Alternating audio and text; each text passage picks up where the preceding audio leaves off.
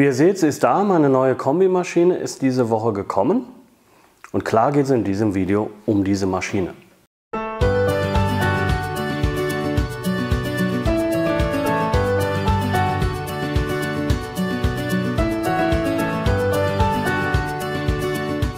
Am Montag wurde die Maschine angeliefert. Heute, wo ich das Video drehe, ist Donnerstag. Wenn ihr das Video seht, ist Freitag. Am Mittwoch kam der Monteur, hat die Maschine montiert. Mir war einfach die Zeit zu schade, die Maschine selbst aufzubauen. Das ist machbar, ganz klar, aber wenn man das selbst macht oder wenn ihr das selbst machen wollt, plant mindestens einen Tag Arbeit ein. Denn wenn man das nicht tagtäglich macht, dauert das länger, auch das Justieren. Ich habe deswegen den Service von Felder in Anspruch genommen, habe die Maschine montieren und justieren lassen. Da gab es ein paar Dinge, die mir nicht so gut gefallen haben, dazu aber noch später im Video. So sieht die Maschine also aus, wenn der Fräsanschlag montiert ist und das Sägeblatt ausgefahren. Das wird natürlich so niemand machen. Ich wollte euch aber noch ein paar Sachen zum Fräsanschlag schon mal erklären, deswegen sieht die Maschine jetzt so aus. Ganz am Anfang des Videos will ich aber ein paar Kommentaren vorgreifen, die garantiert kommen werden oder Fragen, die kommen werden. Erst einmal dazu, was auch schon öfter bei anderen Videos kommentiert wurde. Was hat das hier noch mit Hobby zu tun? Zunächst einmal muss man den Begriff Hobby sehr weit fassen. Jeder hat da eine andere Auffassung. Das hier ist schon eine relativ große Maschine, die kostet auch ein paar Euro. Zur nächsten Frage, die kommen wird. Mit Zubehör, mit Anbauteilen, mit Werkzeug müsst ihr einen fünfstelligen Betrag einkalkulieren. Also vierstellig im ganz oberen Bereich vielleicht noch, aber es wird schnell fünfstellig. Das müsst ihr also einplanen für eine solche Kombimaschine. Das ist ja eine Maschine mit Fräse mit drin. Die sind teurer. Dann habe ich auch schon Kommentare bekommen, ja, Felder, äh, Hammer ist Mist. Felder ist natürlich viel besser. Ja, aber auch teurer. Würde hier eine Felder stehen, wette ich mit euch, kämen Kommentare, Felder ist Mist, Altendorf ist besser. Ja, stimmt auch. Aber irgendwo will ich auch die Kirche im Dorf lassen. Deswegen ist es in Anführungszeichen nur eine Hammer geworden und keine noch teurere Maschine. Die war für mich schon teuer genug. So viel dazu. Das sind die Kommentare, die garantiert gekommen wären. Vielleicht kommen sie trotzdem, keine Ahnung. Aber dem wollte ich vorgreifen. Spart euch Arbeit, spart mir Arbeit. So, jetzt aber zur Maschine selbst. Die Maschine wird natürlich nicht so aufgebaut angeliefert. Die stand auf einer Einwegpalette wurde von der Spedition mit Hebebühne geliefert und vor die Tür gestellt. So läuft das, wenn man das per Spedition macht, ab.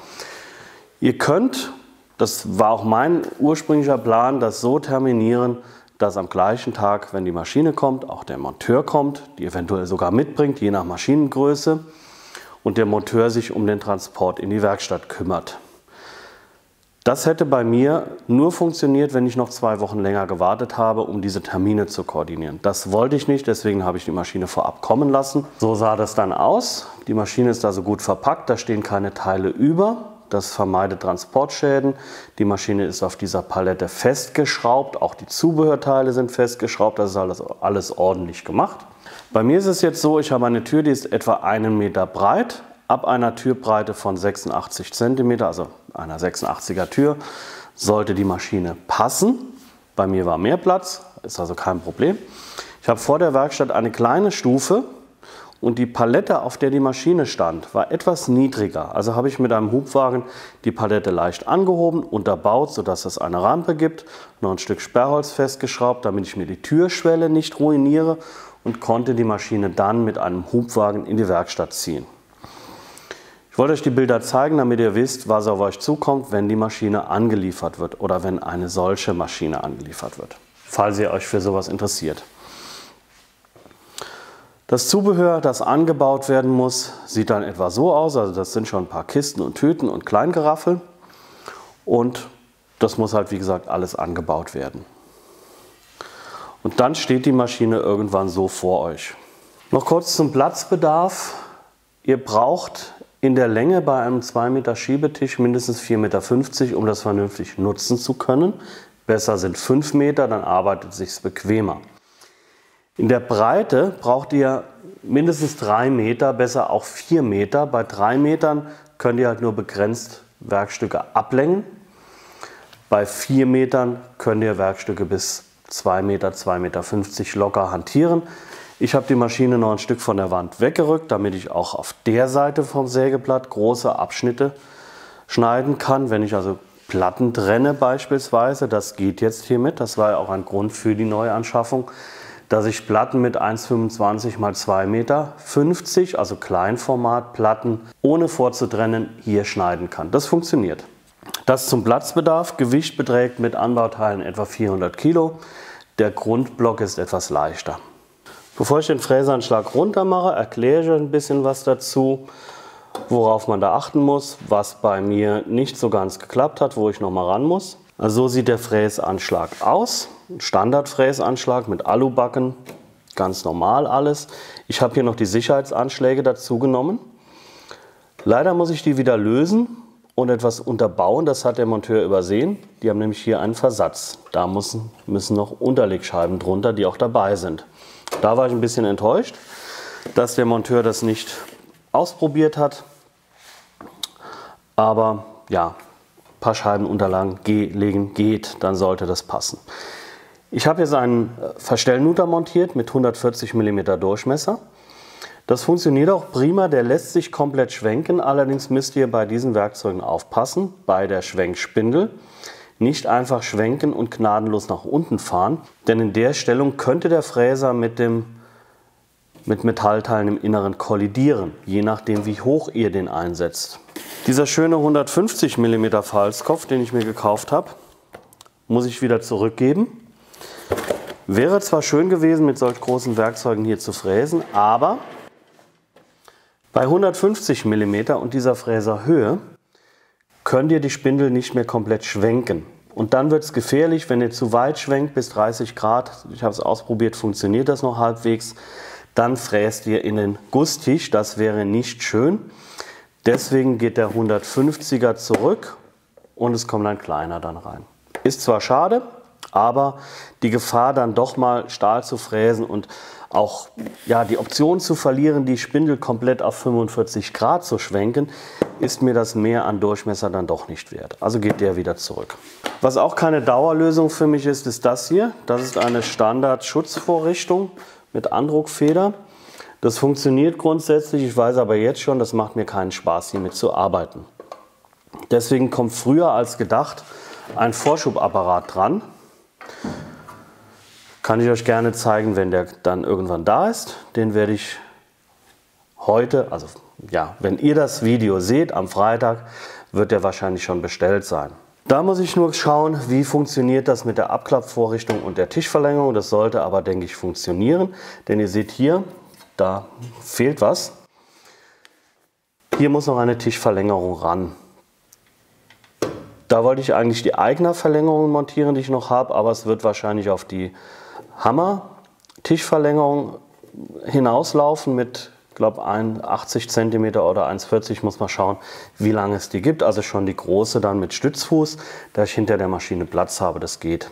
So, ein Grund für den Wechsel zu dieser Säge war ja die schlechte Absaugung bei meiner alten Säge und der kürzere Schiebetisch, der zu kurze für meinen Geschmack und der schlechte Sägeblattwechsel.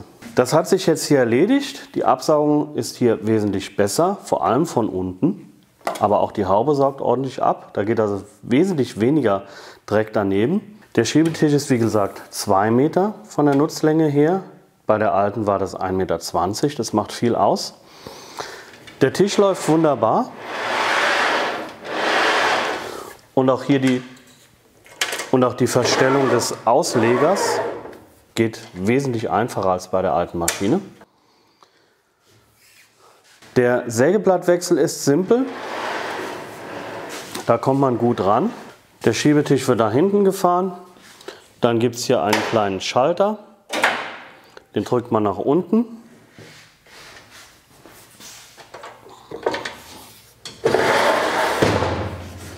Und dann kann man hier die Abdeckung wegziehen. Hier seht ihr auch die Absaugung, die ist so gemacht, dass lange, dünne Abschnitte die Säge normalerweise nicht verstopfen dürften. Das fällt alles hier unten ran. Hier ist Platz genug, da kann man das rausnehmen. Also das sieht auch schon mal sehr gut aus. Und es ist auch alles vernünftig abgedeckt.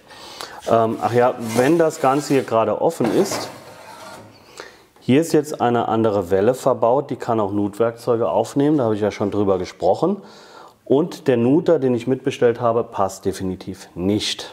Das ist der Nuter für die Tischfräse, der funktioniert auch wunderbar, lässt sich schwenken, habe ich euch ja gezeigt. Der passt aber nicht in die Säge rein, auch wenn man den, die entsprechende Welle mitbestellt. Denn dieser Nuter hier hat nicht diese beiden Zusatzbohrungen, wie es die Felder Sägeblätter haben. Der Nuter für die Kreissäge hat diese Bohrungen, ist aber größer und lässt sich dann in der Tischkreissäge, äh, in der Tischfräse nicht schwenken. Wollt ihr also beides optimal nutzen, einen Nuter für die Tischfräse, der sich voll schwenken lässt und einen Nuter für die Säge haben, dann müsst ihr zweimal einkaufen.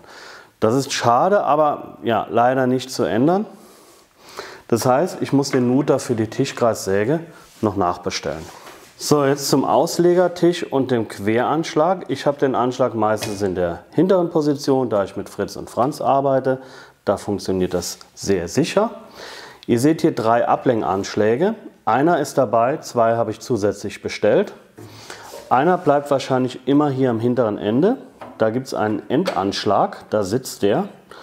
Und wenn ihr größere Maße, also über 1,34 Meter schneidet, dann zieht ihr den raus und der bleibt in Position. Und dann habt ihr hier auf der Skala wirklich das Maß, das ihr schneidet. Alle anderen sind dafür, oder die beiden anderen sind dafür da, wenn ich zwei Maße gleichzeitig schneide. Das vermeidet dann Ungenauigkeiten. Hier ist ein sogenanntes Gradraster-Index drin. Das erleichtert es euch, bestimmte Winkel einzustellen. Ihr löst hier die Klemmung.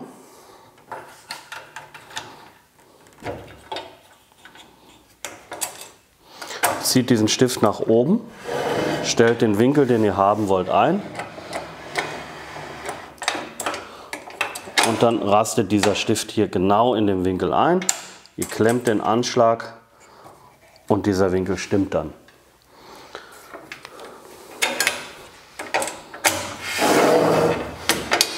Könnt den Anschlag in der Länge verschieben, das ist bei Gärungsschnitten notwendig, je nachdem, wie, was ihr schneidet, damit ihr einfach mit dem Anschlagprofil näher ans Sägeblatt kommt.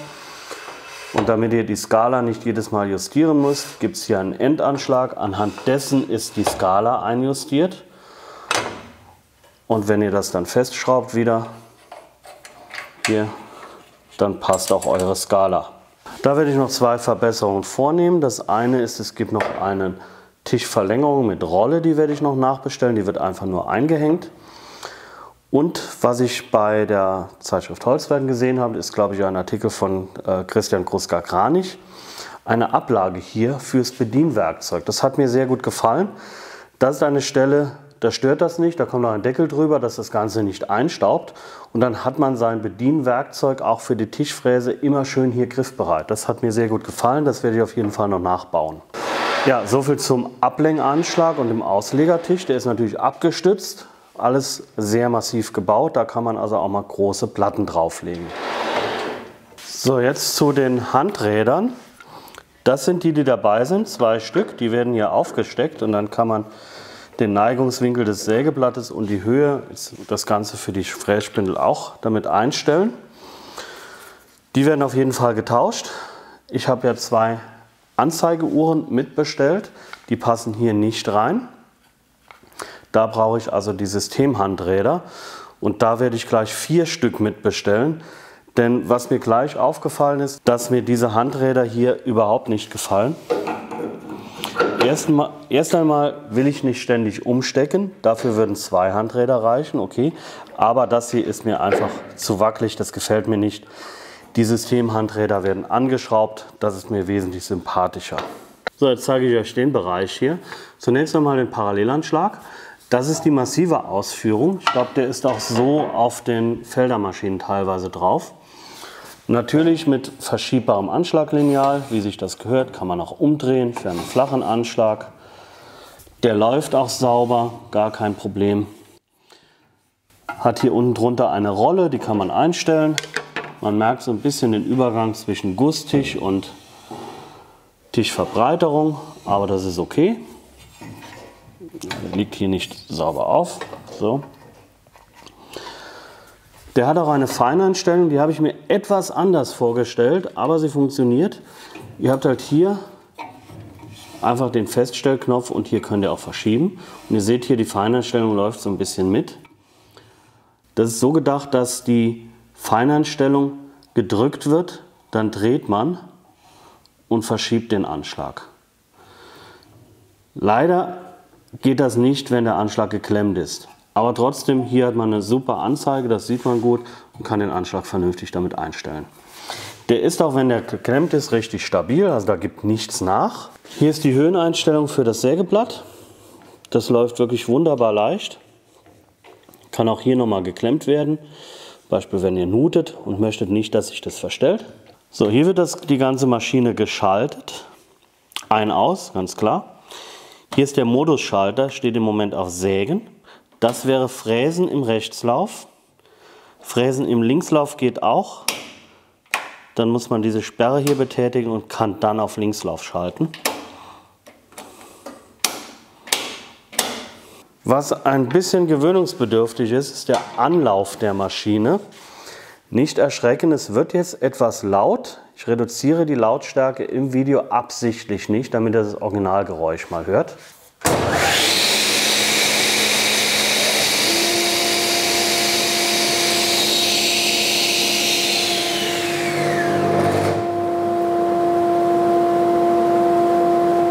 Also die Bremse haut schon ganz schön rein, aber das Sägeblatt steht dann auch wirklich verdammt schnell. Das war jetzt also ein kleiner Rundgang um die Maschine mit den wichtigsten Funktionen. Ich habe bis auf ein paar Probeschnitte noch nichts mit der Maschine gemacht. Ich wollte sie aber schon mal zeigen, direkt nach dem Aufbau und ein bisschen was zur Lieferung, Montage etc. erzählen. So, jetzt eine kurze Zusammenfassung. Was hat mir nicht gefallen oder gefällt mir nicht? Also definitiv war ich vom, ja, von der Montage etwas enttäuscht. Da hätte ich mir etwas mehr Liebe zum Detail gewünscht.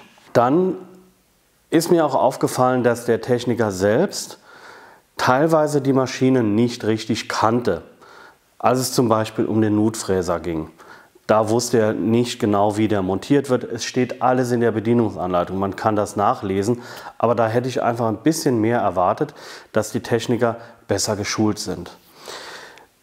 Die Maschineneinstellung ist okay, die der Techniker gemacht hat. Da muss ich wahrscheinlich nichts korrigieren.